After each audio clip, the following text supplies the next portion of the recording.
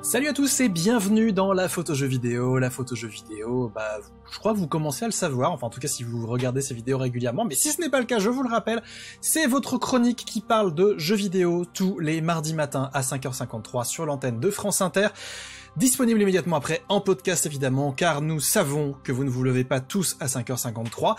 Et puis, bah, comme chaque semaine, euh, on fait aussi un petit let's play vidéo bonus par rapport à cette chronique radio. C'est qu'en gros, le matin, on vous parle d'un jeu euh, à l'antenne de la radio et en podcast, et puis l'après-midi ou un petit peu en fin de journée, le même jour, le mardi, on vous montre en let's play ce à quoi ça ressemble histoire que vous ayez quand même un petit peu un aperçu. Là, ça va y avoir moins de surprises que sur d'autres jeux qu'on a pu faire récemment, parce que je pense que là, beaucoup d'entre vous, en tout cas beaucoup des joueurs, connaissent déjà cette série. C'est Mass Effect. Euh, alors pourquoi je vous parle de Mass Effect qui est sorti euh, pour la première fois en 2007 Tout simplement parce qu'il y a une version Mass Effect Legendary Edition, édition légendaire, qui vient de sortir et qui regroupe les trois jeux de la trilogie Mass Effect, donc en toute logique, Mass Effect, Mass Effect 2 et Mass Effect 3, pas Mass Effect Andromeda, qui est un épisode un petit peu à part, et ni bah, le peut-être futur Mass Effect 4, puisque euh, c'est dans les tuyaux, apparemment, euh, BioWare a annoncé qu'il travaillait sur un nouvel épisode. Voilà, bon ça c'est pour, pour les gens qui connaissent, mais là on va vraiment parler aux gens qui connaissent pas, en tout cas l'objectif de ce let's play va être de vous montrer c'est quoi Mass Effect euh, précisément Parce que c'est un jeu bah, qui, mine de rien, a quand même beaucoup marqué euh, le, jeu vidéo de la fin des années 2000, début des années 2010, sur un petit peu la, génération de consoles euh, pas précédente maintenant, puisqu'on est déjà une nouvelle génération de consoles, mais en gros la génération de la PS3 et, de, et de la Xbox 360 et du PC. Il me semble que Mass Effect d'ailleurs est sorti d'abord uniquement comme exclusivité 360 au départ, avant d'être porté sur PC ensuite. Voilà, euh, cette édition, c'est l'occasion, bah, donc du coup, pour les joueurs PS4, Xbox One et PC, d'y rejouer, de rejouer à ces trois jeux dans les meilleures conditions, puisqu'il a subi un gros lifting graphique, il a changé pas mal de choses, euh, il a proposé notamment pas mal, il propose notamment un personnage féminin un petit peu plus développé qu'il ne l'était au début, puisque c'était un petit peu une des faiblesses du, du tout premier jeu. Euh, voilà. Je vais nager, pas forcément en, terrain euh, totalement connu, parce que euh, Mass Effect, je vais le, je l'avouer avant que ce soit totalement la honte, mais mais voilà, je suis passé totalement à côté à l'époque. Enfin, j'ai joué un tout petit peu au premier quand il arrivait sur PC, mais le portage était, alors de mémoire, pas pas ouf. En tout cas, c'était très compliqué à jouer, utiliser un joypad, c'était quasi impossible. C'était quand même très bizarre pour un jeu qui était d'un jeu console au départ. Euh, mais bon, voilà, il y avait plein de choses qui n'allaient pas. Euh, graphiquement, il y avait pas mal de bugs, il y avait pas mal de choses qui, qui, qui buggaient. Donc c'est quand même très cool d'avoir cette édition légendaire pour les gens bah, qui, comme moi, sont passés un peu à côté de cette série, de cette trilogie, et qui aimeraient s'y mettre, euh, découvrir un petit peu à quoi ça ressemble. Voilà. on est dans un jeu BioWare. Alors BioWare, pour les gens qui ne connaissent pas, c'est une société canadienne qui s'est fait une grande spécialité de bosser sur du jeu de rôle euh, un peu à l'ancienne, euh, enfin de à l'ancienne, non j'exagère un petit peu, sur sur du jeu de rôle euh, vidéoludique, mais vraiment avec des, des, grosses productions à chaque fois. C'est à eux qu'on doit Baldur's Gate, qui est une des meilleures adaptations de l'univers de Donjons et Dragons encore aujourd'hui sur PC, puis sur console un petit peu récemment avec avec l'édition euh, une édition remastered aussi. Euh, c'est eux qui ont fait également le premier euh, Star Wars Knights of the Old Republic, qui est un excellent jeu de rôle Star Wars et qui est peut-être même un des meilleurs jeux Star Wars jamais fait.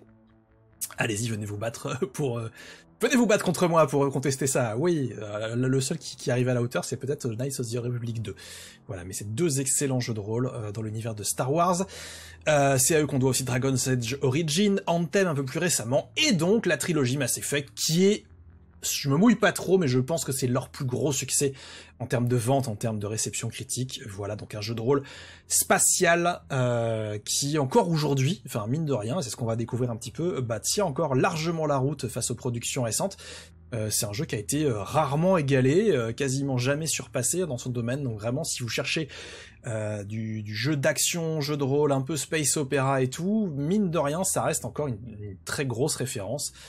Voilà. Euh, pour commencer comme dans tout jeu de rôle, donc on le disait, euh, vous avez le choix soit entre deux personnages principaux, un personnage masculin, un personnage féminin, qui sont des personnages prédéfinis avec une identité, mais vous pouvez aussi créer totalement une nouvelle identité avec euh, plein d'options de customisation. On va pas s'attarder là-dessus parce que c'est c'est souvent les trucs un petit peu laborieux dans les jeux de rôle. Moi, je sais que souvent c'est le genre de truc sur lequel je passe une heure avant de sortir mon personnage. Donc, on va dire qu'on va prendre Euh, John Shepard, on va prendre le personnage masculin de base, d'origine, même si, euh, voilà, je sur ma, sur ma partie euh, pas let's play, donc la partie chez moi à la maison, j'ai pris Jane Shepard parce que quand on peut jouer un personnage féminin badass, pourquoi s'en priver? C'est pas comme si il y en avait tant que ça. voilà. Fort de la parenthèse. bon. John Shepard, donc, allons-y Bon, on va, on va zapper un petit peu toutes les options parce qu'on va pas s'intéresser aux subtilités, mais on va se lancer tout de suite dans l'univers, parce que l'univers, c'est vraiment euh, ce qui fait la grande, grande, grande force de Mass Effect encore aujourd'hui. C'est ce qui fait que ça marche.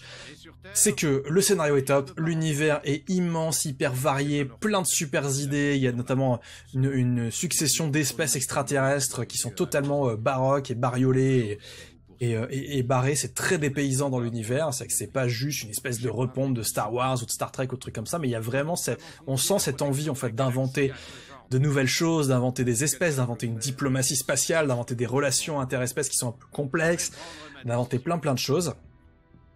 Donc c'est ce qui fait que ça marche bah, très très très bien et vraiment que c'est un univers de science-fiction qui est extrêmement bien fait et du coup bah un, bon univers et une bonne histoire mine de rien ça ne vieillit pas ça ça peut continuer euh, Enfin voilà, il, suffit juste généralement de faire un, petit coup de polish, un petit coup d'amélioration pour que ce soit à la hauteur euh, visuellement de, ce qu'on attend aujourd'hui des jeux vidéo et au niveau de la maniabilité aussi.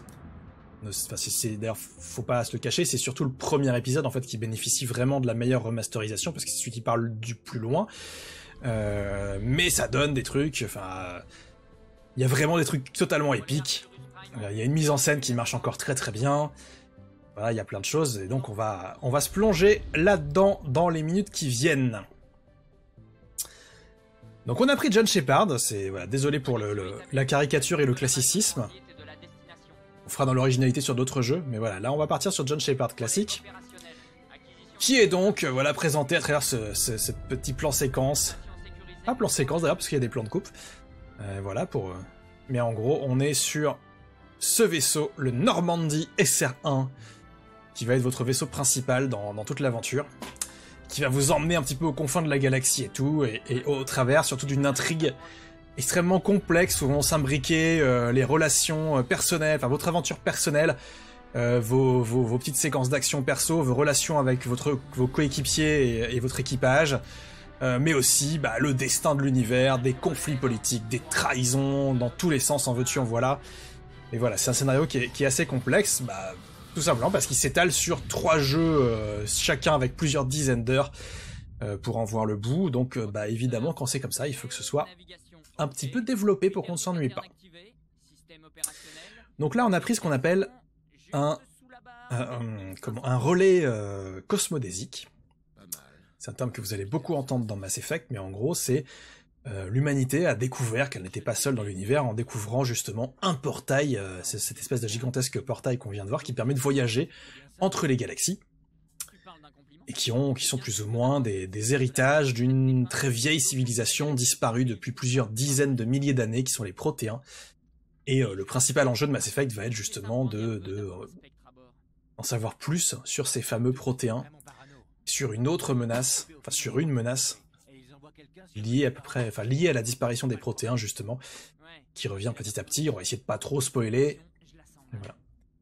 Alors lui il dit je la sens mal et donc on arrive à ce un de ces trucs typiques de Mass Effect, ces petits arbres de choix de conversation qui vous permettent de répondre. Euh, voilà, sachant que en gros la plupart des choix que vous faites, une bonne partie des choix que vous faites vont avoir des conséquences à minima sur la manière dont vous perçoivent les gens à qui vous parlez, euh, au maximum ça va avoir des influences totales sur le scénario euh, et sur le sort de la galaxie et de l'univers.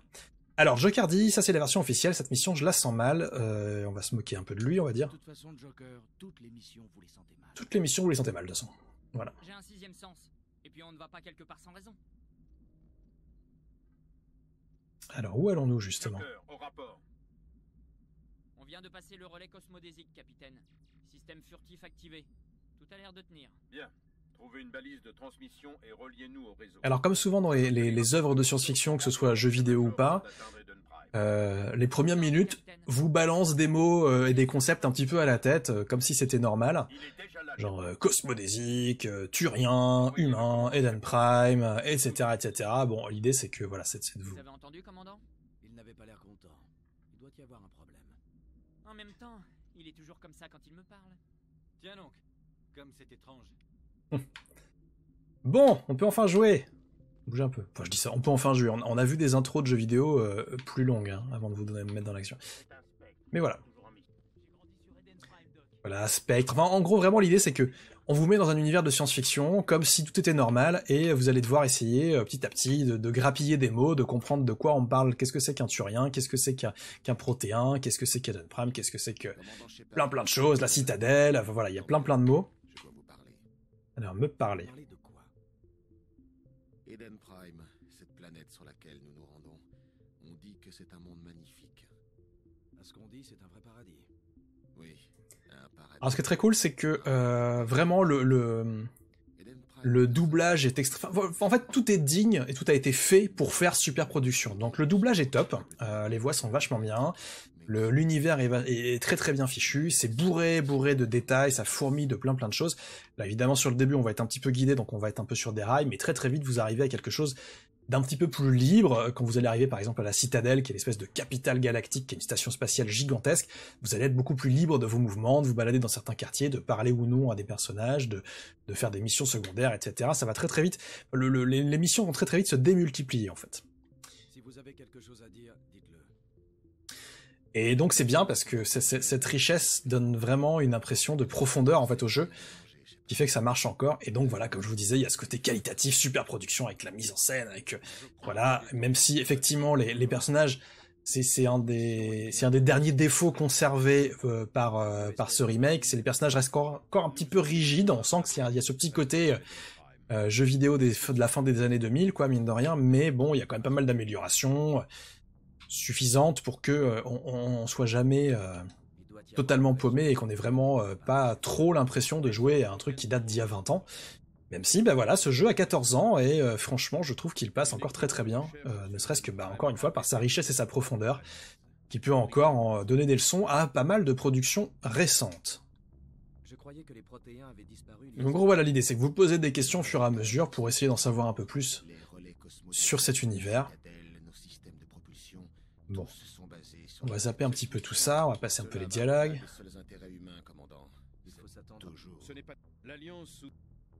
Alors. on est censé aller sur Eden Prime, et visiblement, sur Eden Prime, tout ne va pas au mieux. Voilà.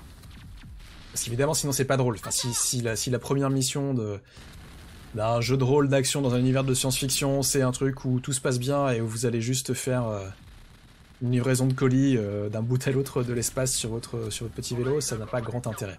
là, ça va, être, ça va être le bordel très très vite. Voilà.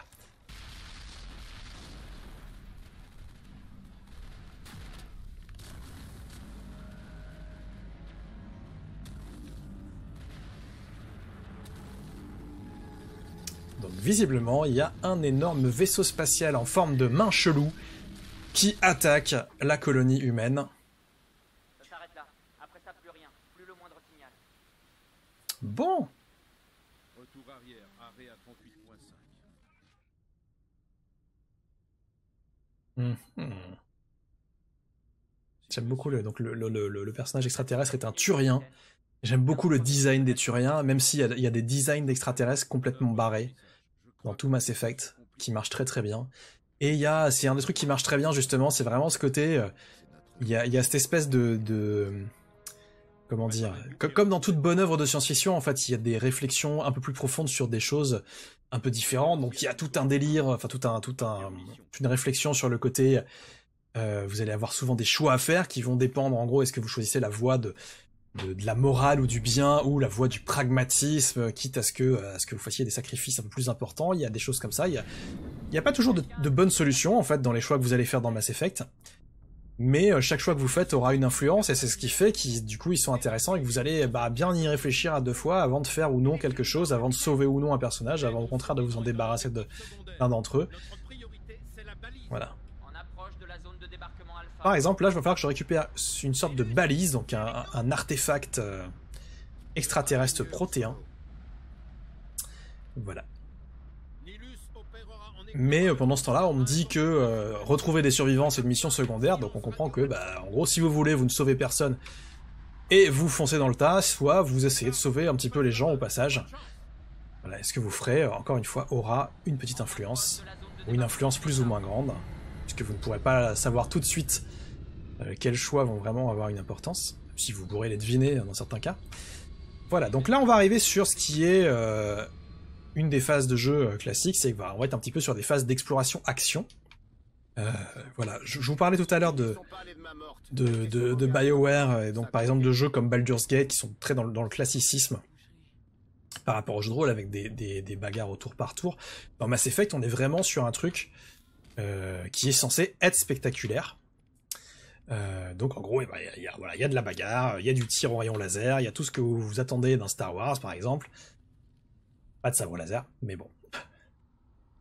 Et donc vraiment le but est que ce soit, c'est vraiment, enfin c'est un blockbuster d'action dans un univers de science-fiction plus qu'un film vraiment de science-fiction, même si, plus qu'un jeu de science-fiction, lapsus, euh, même si comme je vous disais, il y a des thématiques de science-fiction, parce que bah voilà, que ce soit dans la littérature ou au cinéma, la science-fiction c'est toujours ou presque toujours un moyen de, réfléchir à des thématiques bien particulières et souvent beaucoup plus actuelles que le futur que nous présentent ces jeux si vous lisez du Asimov ou du Herbert ou des choses comme ça, vous savez très bien que euh, l'idée c'est pas juste de parler d'extraterrestres et de trucs du futur et de vaisseaux spatiaux qui vont vite, c'est de vous faire réfléchir à d'autres choses et à d'autres enjeux.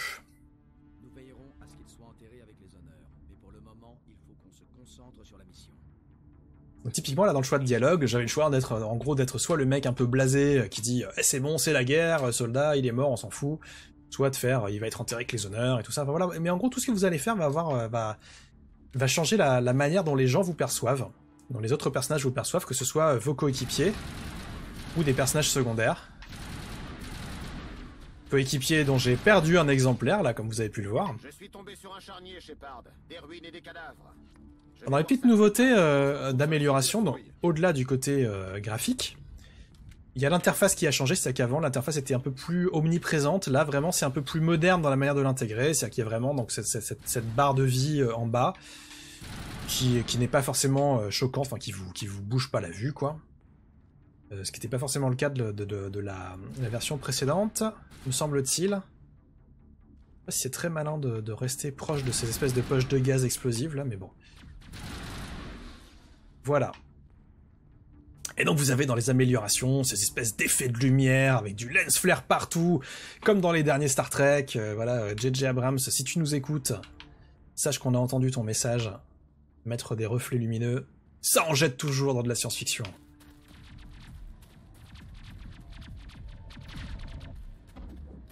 Oula.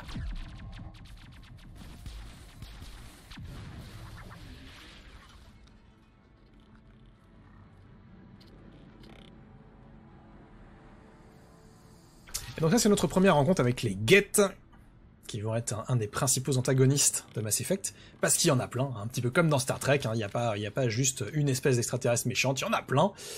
Euh, il y en a aussi qui sont, euh, qui sont méchantes et qui vont vous rejoindre, ou, d'autres qui vont être euh, plus sympas et qui vont, être contre vous. voilà, vous avez vraiment un peu le choix de, notamment dans le choix de vos coéquipiers, des choses comme ça, de est-ce que vous allez être en mode euh, je suis euh, j'ai pas de cœur et, euh, la mission avant tout et voilà ou est-ce que vous êtes un peu plus empathique? Plein plein de choses comme ça. Par exemple donc là si je rencontre Ashley Williams je peux lui dire je peux soit m'inquiéter de sa santé soit lui dire qu'est-ce qui s'est passé être vraiment très très objectif ou soit eh oh on est en mission tu m'embêtes pas avec tes problèmes. On va lui dire et on va être gentil on va dire vous allez bien on s'inquiète d'eux? Voilà, donc je me suis inquiété de son sort. On était en patrouille dans le secteur quand l'attaque a eu lieu. On a essayé d'envoyer un signal de détresse, mais ils avaient coupé nos transmissions. Depuis, j'essaie de survivre. Où se trouve le reste on va lui demander s'il y a d'autres survivants de son unité. On a tenté de foncer vers la balise, mais on est tombé dans une embuscade. Je sais pas si les autres ont... Je crois que je suis la seule survivante. Ce n'est pas votre faute, Williams on continue à la, à la, comment, à la, à la consoler de la part de ses camarades. Pas à la consoler, mais à la, rassurer sur sa non-responsabilité, quoi. Voilà. C'est encore plus compliqué ce que je viens de dire, mais c'est pas grave. Qu'est-ce qui a poussé les guettes à revenir? Mais c'est vrai, ça, c'est intriguant.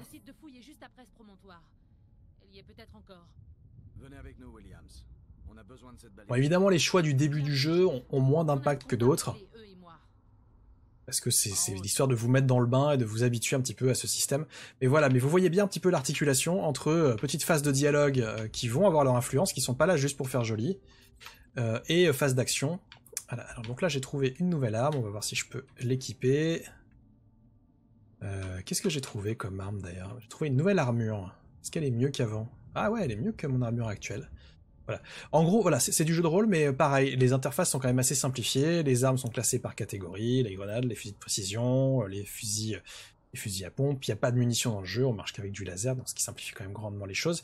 Et puis vous avez différents équipements, là par exemple, je vois que cette armure va me faire une résistance physique un petit peu moindre, mais des boucliers plus importants, et je vais être protégé contre euh, les attaques tech et biotiques, sont deux types d'attaques. En gros, voilà, si, si, on doit comparer à du Donjon et Dragon, des choses comme ça, vous avez des attaques physiques, vous avez des attaques magiques, et des attaques technologiques, plus ou moins. Et voilà. Alors, s'accroupir améliore la précision. Ah oui, je voudrais, je voudrais bien m'accroupir. Donc lui, il est un peu à distance, donc peut-être que je peux utiliser mon fusil à lunettes. Et voilà C'est vraiment l'idée, c'est de, vous, mettre de, vous intégrer à un, blockbuster de science-fiction comme peuvent l'être Star Wars ou Star Trek, euh, enfin les, derniers Star Trek en film. Voilà, c'est le, but, c'est vraiment que vous soyez pris dans l'action, tout en ayant bah, des phases de dialogue, des phases un petit peu plus posées où vous enquêtez sur des choses, des choses comme ça, mais vraiment, chaque phase, toutes ces phases vont être plus ou moins imbriquées les unes avec les autres et vont avoir leur importance.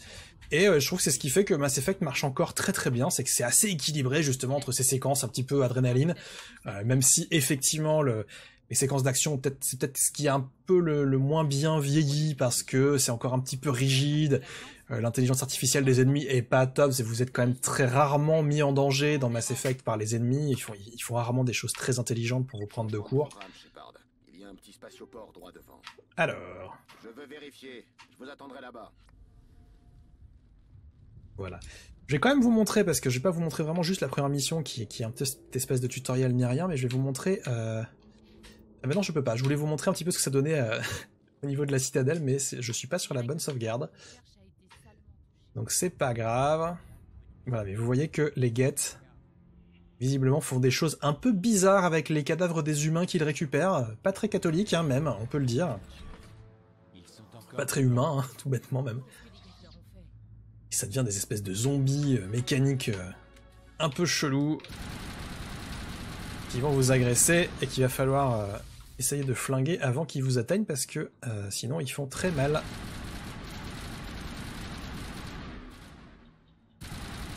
Alors vos armes n'ont pas de munitions mais elles peuvent surchauffer, ce que je viens de faire là, ce qui fait que quand l'arme est, surchauffée là, je, ne peux plus rien faire. Je suis bloqué. Bon. Alors, bah... Si la porte est fermée, peut-être qu'on peut l'ouvrir on va tenter un override manuel, donc il y a des petites séquences aussi, voilà, comme, souvent hein, dans, ce genre de jeu, des petites séquences où vous devez faire des mini-jeux pour... Euh, donc là, un mini-jeu de hacking. Voilà, mais vraiment, il y a plein plein de petites choses. Donc là, ça fait que j'ai sauvé... J'ai sauvé des colons locaux. Personne n'est sauvé, c'est la fin de l'humanité. Bientôt, il ne restera plus que des ruines et des cadavres. Bon. Eux, ils sont sauvés, on va les laisser rentrer à la maison. Ou en partir, hein, selon le point de vue. Voilà. Alors, qu'est-ce qui se passe par là? Donc ça, c'est notre ami euh, Turien, qui fait partie des spectres, qui, sont des, espèces de, de soldats euh, un peu au-dessus des lois dans la galaxie, qui sont là pour enquêter sur des, menaces un peu particulières. Donc là, il rencontre Saren, qui va être évidemment, euh, comme ça se voit presque immédiatement à sa tête, le principal antagoniste. Qu'est-ce que tu fais là? D'ailleurs, on se demande pourquoi lui ne se pose pas de questions en disant Tiens, mais il a, il a quand même l'air vraiment pas sympa ce type. Je ne m'attendais pas à trouver des guettes. On est dans un beau merdier. Au contraire, je me charge de tout. Ah Et Saren va donc trahir l'autre Turien. Voilà. Bon, on va s'arrêter là. Sur, sur ce, cette séquence avec ce vaisseau géant qui décolle au milieu, au milieu des tirs de laser. Voilà, mais Mass Effect c'est vraiment beaucoup ça, quoi. C'est vraiment ce côté euh, euh, séquence d'action, truc un peu spectaculaire et tout, des moments un petit peu plus posés qui vous permettent de mieux comprendre euh, l'univers, ses implications, tout ce qui, tout ce qui est politique, sociétal un petit peu dans ce monde. Voilà, il y a un zombie qui a réussi à s'approcher un petit peu près. Bon bah c'est pas grave. On va lui régler son compte. Voilà, mais tout ça pour dire, donc en gros, petite conclusion quand même, parce que on, va, je vais pas vous laisser avant de, répondre à la question essentielle qui est est-ce que ça vaut encore le coup, 14 euh, ans après la sortie du premier épisode, de jouer à Mass Effect? Sincèrement oui, enfin en tout cas selon moi, parce que euh, vraiment, enfin c'est un jeu qui a encore plein plein de choses à proposer, qui a, euh, qui a donc bah, son scénario pour lui, son univers qui est encore vraiment, encore aujourd'hui pour les standards actuels, vraiment hyper bien foutu. Il, y a, enfin, il, se passe vraiment plein plein de choses, l'univers est génial, les personnages secondaires sont top, enfin vraiment, ils, sont bien écrits, ils sont... Euh, voilà, il, se passe énormément de choses, c'est toujours crédible, c'est toujours... Euh, c'est vraiment, c'est très premier degré dans sa manière de faire de la science-fiction, mais ça marche vraiment très très bien. Euh, rien n'est vraiment totalement... comment... Qu'est-ce que je voulais dire? Euh, il y, a, vraiment, enfin, c'est fait, euh, fait avec, euh, on le sent, une sorte d'amour de la science-fiction et, tout est cohérent, quoi. Il y a vraiment un truc qui marche très très bien dans cet univers et qui, eh ben, qui moi m'a donné envie de m'y replonger bien, bien, bien lourdement. Et donc je pense que cette fois-ci, contrairement à la fois précédente où j'avais vraiment juste passé 2-3 heures sur le premier en me disant ah c'est dommage, il y a plein de trucs qui me plaisent pas, bah là j'ai pas retrouvé, enfin en tout cas j'ai pas eu ces blocages là j'ai pas eu ces difficultés euh, pour rentrer dedans, là je suis vraiment rentré dedans tout de suite, donc je pense que cette fois je vais aller au bout de la trilogie. Euh, donc rendez-vous dans, dans 17 ans, hein, quand j'aurai terminé, parce que le temps de faire ça, en plus de tous les autres jeux qu'on a tous, hein, ne mentons pas, on a tous 30 000 jeux euh, qui, qui durent 50 heures chacun à finir. Voilà, je vais vous abandonner sur ce brave garçon qui s'est planqué derrière les caisses pour faire la sieste et qui du coup a échappé à l'attaque des guettes. Et puis moi je vous dis à la semaine prochaine pour un autre jeu. Je vous rappelle donc que la photo jeu vidéo, la chronique radio, c'est tous les matins, tous les mardis matins, pardon, pas tous les matins parce que j'aurais du mal à suivre, tous les mardis matins à 5h53 sur l'antenne de France Inter, disponible immédiatement après et les semaines suivantes euh, en podcast. Vous cherchez la photo jeu vidéo France Inter sur, euh, sur Google vous tombez dessus sans problème, et puis bah, on reviendra aussi la semaine prochaine avec un let's play complémentaire. Euh, pour vous présenter un nouveau jeu. Je ne sais pas du tout ce que ce sera, mais on verra bien. Il y a tellement de choix ces temps-ci qu'on ne va pas, on va pas s'en plaindre. On va pas avoir des problèmes de riches en se disant ah j'ai trop de jeux. Non, non, non, c'est bien. Qu'il y ait une production massive, ça prouve que bah il y a plein de belles choses sans doute à y piocher. Je vous dis à la semaine prochaine. Portez-vous bien. Gros bisous. Repartez dans l'espace. Salut, salut.